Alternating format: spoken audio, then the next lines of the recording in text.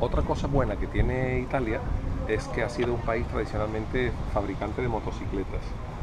Y eh, eso también es su diseño, por ejemplo, los diseños de las carrocerías de Ferrari, los diseños de las Ducati, todo eso es precioso.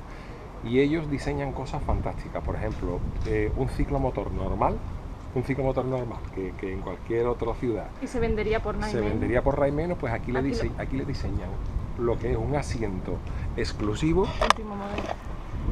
Y ellos pues lo venden, lo venden porque esto es, esto es de diseño de categoría.